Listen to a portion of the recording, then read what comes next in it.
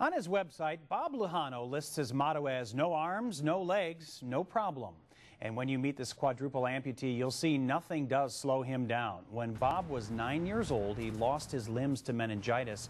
But he hasn't let that stop him from leading a life just like yours and mine. From getting around town or the office to typing without hands, Bob has relied on his strong faith and his strong determination daily to do things you and I might take for granted. As a motivational speaker, he really enjoys having the opportunity to remind people that those with disabilities are really no different than anyone else. As a person with a disability, that these are the things I want as well uh, as any other person, you know, having a, a home and a family and you know, these are things that uh, all people want, and regardless of your disability, regardless of your situation, you know, those are things that are attainable and possible.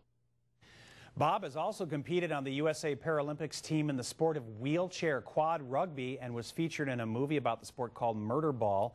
I want to let you know that he's in town to be the guest speaker tomorrow evening at the Wisconsin Academy for Graduate Service Dogs, or WAGS, fall fundraiser at the Fluno Center. He is supporting the group for its work training dogs to help those with disabilities perform vital daily tasks. And you can find out more about the dinner or get tickets at wags.net. He is a neat guy yeah. with an amazing story. He really is. You had a chance to talk to him on the 5 o'clock newscast today, yeah. and it's a privilege to have met him. Yeah, look, look forward to that tomorrow.